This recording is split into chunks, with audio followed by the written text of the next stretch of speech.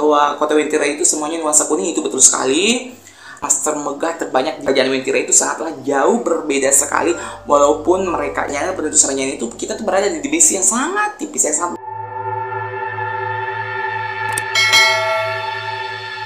Halo semuanya, kembali lagi berjumpa dengan saya Reka di channel si penjual kelapa parut. Nah sahabatku, apa kabar semua? Semoga sehat, selalu panjang umur, rezekinya selalu bertambah, yang pentingnya berkah. Dan tak lupa pula kita selalu mendoakan untuk kalian semua yang mungkin sekarang ada terbentuk sakit atau mungkin yang uh, mungkin mengalami uh, apa ya gangguan kesehatan. Semoga cepat uh, diangkat penyakitnya oleh Tuhan, dipulihkan sehat walafiat seperti dulu kala lagi. Nah sahabatku, nah seperti video-video saya di channel si penyokal paparut ini, yang mana yang saya selalu membahas tentang kota tak masuk akal atau kota yang e, berbau-bau ya gaib, astral atau hal-hal yang gaib ya.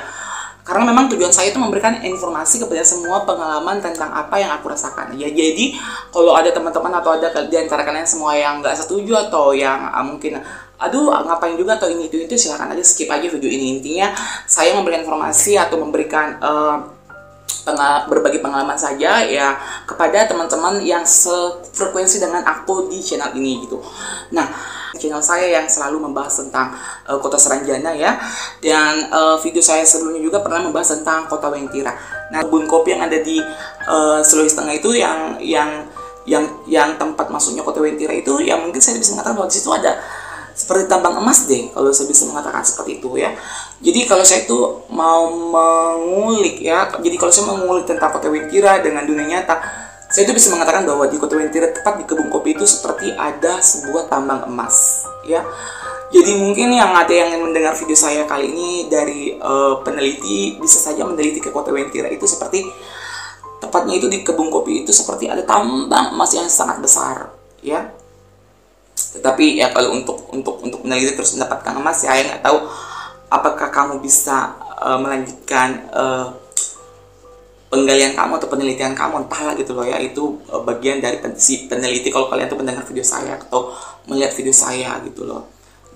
Kota Saranjaya dan Kota Wentira itu atau Kerajaan Wentira itu sangat jauh berbeda sekali. Ya kenapa? Karena Kota Wentira atau Kerajaan Wentira ini memang e, peradabannya memang maju, peradabannya maju, akan tetapi peradabannya ini tidak secanggih atau tidak semodern dengan kota Seranjana. Karena kota Seranjana saya itu model rumahnya atau e, dari segi e, transportasinya itu memang sudah sangat maju modern gitu loh uh, seperti kan model-model rumahnya kalau orang Seranjana itu seperti model uh, kayak uh, minimalis Eropa kayak kayak seperti model-model rumah Eropa gitu loh. Yang sangat modern yang bisa ada mobil terbang ada kita naik mobil seperti kereta api. Sedangkan di Wentira yang saya lihat ya ini pengalaman saya saya itu melihat itu sangat berbeda jauh. Di Wentira itu memang sangat luar biasa kekayaan orang Wentira. Ya kalau yang aja ya saya itu melihat itu jalan aspalnya aja itu bercampur dengan emas. Jadi saya itu bisa mengatakan bahwa kota Wantira itu merupakan sebuah kota tuh yang sangat sangat kaya dengan emas mungkin di seluruh dunia ya. Tapi ini uh, kota gaib gitu loh. Kalau saya itu bisa mengatakan seperti itu. Bayangkan aja kita tuh berjalan kaki, kita tuh bisa melihat itu uh, apa batu-batu itu ada ada ada dari emas gitu. Kita jalan kaki saja ada kerikil-kerikil itu dari emas ya bayangkan aja aspalnya saja ini tercampur dari emas. Jadi apalagi kalau rumah-rumahnya itu bukan orang Wentira kalau bukan uh, rumahnya tidak terbuat dari emas. Jadi semuanya itu saya terserba kuning. Jadi kalau ada juga pendapat bahwa kota Wentira itu semuanya nuansa kuning itu betul sekali. Master megah terbanyak di dunia deh kalau saya mau bilang ya. Karena kerikil-kerikilnya aja batu-batu kerikilnya aja kita lihat itu emas gitu loh kalau di Wentira kan tapi kalau model-model rumahnya orang Wengkira itu ya seperti model-model kerajaan dulu gitu loh. Walaupun memang besar tapi model kerajaannya itu atau model-model rumah dari orang Wengkira itu memang sangatlah jauh berbeda dengan uh, peradaban yang ada di uh, kota Seranjana gitu loh. Jadi saya itu mengatakan bahwa kota Seranjana dan uh, kerajaan Wengkira itu sangatlah jauh berbeda sekali. Walaupun mereka itu memang peradabannya uh, lebih maju daripada uh, peradaban yang kita uh, rasakan saat ini di dunia nyata atau dunia manusia seperti saat ini gitu loh. Uh, kalau masalah uh, orangnya atau masyarakatnya atau penduduknya, kalau penduduknya saya melihat itu memang sih lebih lebih lebih mendekati dengan kita gitu loh. Karena memang kan historinya memang seperti kita gitu loh. Walaupun cuman uh, masyarakat Seranjana penduduk Seranjana itu kita tuh berada di divisi yang sangat tipis yang sangat berbeda yang pernah aku jabarkan tadi sebelumnya bahwa kota Seranjana itu cuma kita terbatasi seperti awan tebal. Awan tebalnya itu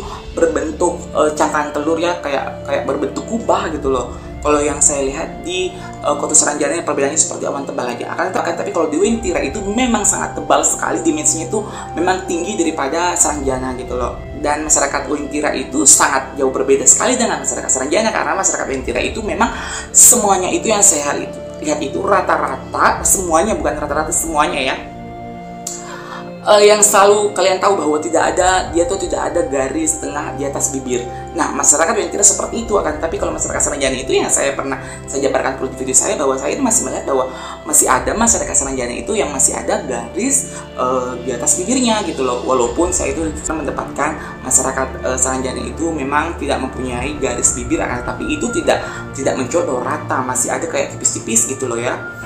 Tapi kalau masyarakat Mentira itu semuanya tuh saya mengatakan bahwa rata tidak mempunyai garis di atas bibir. Nah, seperti itu. Jadi uh, perbedaannya sangat jauh sekali walaupun terkenal bahwa kota Wentira dan kota Saranjana ini adalah sebuah kerjaan gaib yang maju, yang sangat uh, peradaban yang sangat maju gitu loh. Akan tetapi kalau untuk bilang maju dari segi modernnya itu sangat berbeda sekali. Seperti kalau di uh, kota Saranjana di situ saya itu melihat itu kayak bangunan-bangunan yang ada di uh, bangunan yang apa ya seperti yang ada di Turki, seperti yang ada di uh, Abu Dhabi, seperti itu kerja kota-kotanya atau uh, perumahan-perumahan atau gedung-gedungnya yang ada di kota Seranjana. Sedangkan kalau di Wintira saya lihat itu lampunya saja itu masih seperti lampu-lampu nggak terlalu terang gitu dan bangunan-bangunannya memang uh, megah tetapi nggak modern gitu loh ya ya bisa dibilang ya seperti bangunan-bangunan kerajaan-kerajaan yang lalu deh yang saya lihat ya, kalau di kota Wentira. Begitu. Jadi kalau uh, dibilang tapi mereka tuh juga mempunyai seperti uh, suatu pusat pemerintahan tapi kalau pemerintahnya di di Wentira itu masih seperti pemerintahan tentang masih pemerintahan kerajaan ya. Kalau di kalau di kota Seranjana itu ya memang seperti kota kita gitu walaupun memang masih mempunyai raja. Bisa dibilang lah kalau kota kerajaan uh, Saranjana seperti kerajaan Thailand gitu loh ya.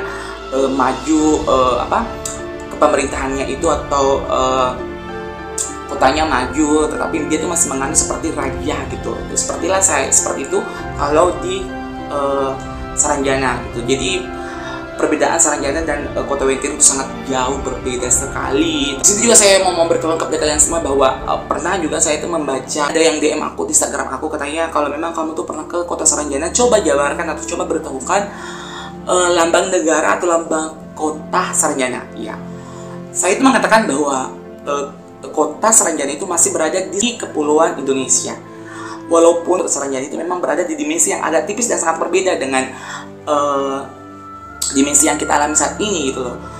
Uh, seperti kan kalau lambang negara kita seperti burung garuda. Nah kalau di Saranjana itu tidak jauh berbeda. Saya itu melihat di Saranjana itu ada dua yaitu lambang burung elang dan kelelawar yang sangat besar di atas pintu gerbang. Jadi saya mengatakan bahwa itu adalah uh, dua lambang negara dari kota Saranjana yaitu lambang burung elang dan lambang kelelawar yang berhadapan di atas uh, pintu gerbang. Jadi kalau ada teman-teman yang memang sependapat dengan aku yang tolong komen ya yang pernah yang betul-betul memang pernah uh, melancong ke Saranjana atau yang pernah masuk ke Saranjana pasti melewati namanya pasti awal pertama ya pasti melewati namanya pintu gerbang utama. Nah pintu gerbang utama itu ada di atasnya itu ada seperti burung elang dan kelelawar ya yang berhadapan. Jadi saya mengatakan bahwa burung elang dan kelelawar itu adalah salah satu uh, lambang kota atau lambang kerajaan dari Saranjana seperti itu juga saya mengatakan bahwa tapi tapi tapi tapi ini pendapat saya ya karena saya belum belum belum belum terlalu menelusuri dan belum terlalu dapat informasi sekali tentang